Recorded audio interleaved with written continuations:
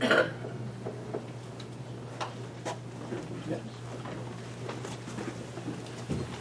Raise your right hand, please. Do you swear or affirm that the testimony you're about to give will be the truth, the whole truth, and nothing but the truth? Yes. State your name for the record. My name is Dana Stevens. Be witness. Thank you, Your Honor. Good afternoon, Mr. Stevens. Are you a resident of the state of Florida? Yes. And in which county do you currently reside? Right now, Suwannee County. And when did you move to Suwannee County? In 2013. Are you a member of WWALS Coalition? I am a member, yes. And do you own land in Suwannee County where you reside? And is it more than one acre? It's 20 acres, just over that. And what is your current occupation? I'm retired. And from what occupation did you retire?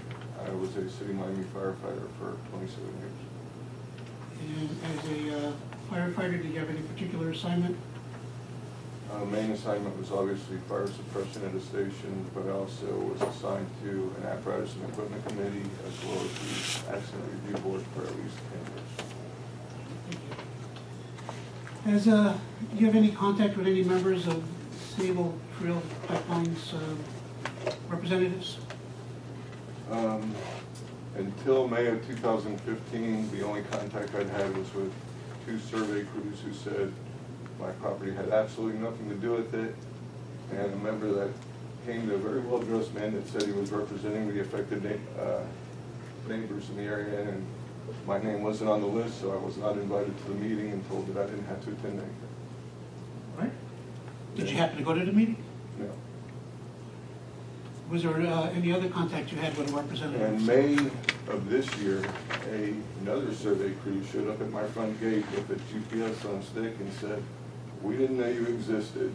We need to get your well and septic tank measurements. And then, um, contacted an attorney that I had after that in June. And that's been basically, they had, they did come to the house about six, maybe eight weeks ago to try and answer some of the questions I had, but weren't able to answer it too. Do you know if there's a, any uh, existing pipeline that crosses your land? There was not any existing pipe.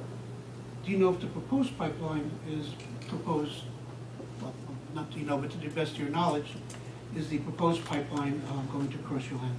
From what I've been told now, that yes, it is crossing about hundred feet up in the corner.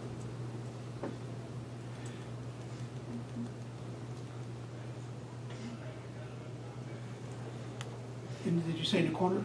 In the northeast corner, yes. The northeast corner?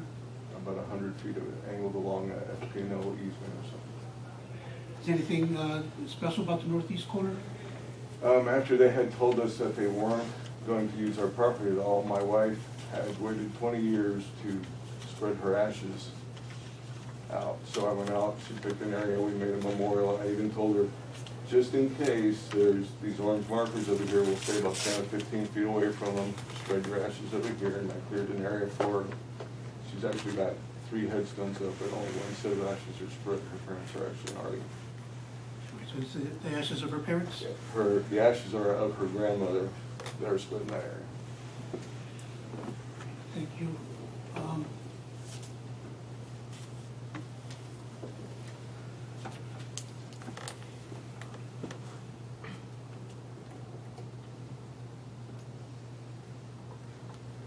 Would, if any, impact would the pipeline have uh, on your property, to you as a property owner? A personal effect on me, well, even one of my daughters has told me she You won't. definitely, all, all persons whose property will have the pipeline on it are substantially affected. Okay. No question. All right. Aside from the fact that you're substantially affected by the pipeline being on your property, is there any other effects uh, that you uh, uh, Well- believe will impact your property ownership? I believe, knowing that from what I've read, that at least two percent of the product doesn't make it to the end of the line, that has to leak somewhere. And I, one of the reasons we love that area was the water is crystal clear, beautiful to drink, we haven't had a filter put on it or anything. And now we gotta sit here and have a pipeline that definitely leaks something somewhere, somewhere along the way. Could that something be methane?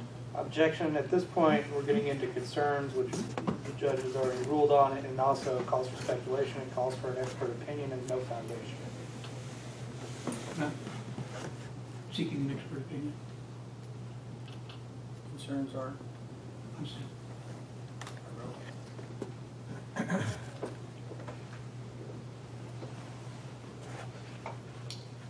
Is anyone from Sabal Trails, any Sabal Trails representatives, made any representation to you about the um, effect the pipeline might have on, on- on you, um, aside from being on your land? Objection, relevance? Let's get to E ERP. Um, I believe the um, relevance would be uh, testimony concerning um, uh, leaks, and smelling of leaks.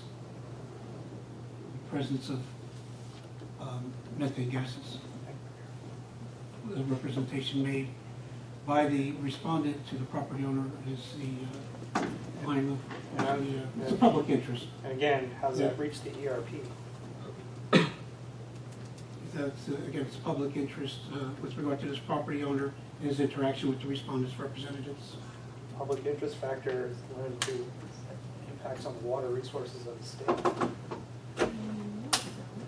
Well, in this, in this context, it's so limited, you know, air permit will reach those questions perhaps. However, uh,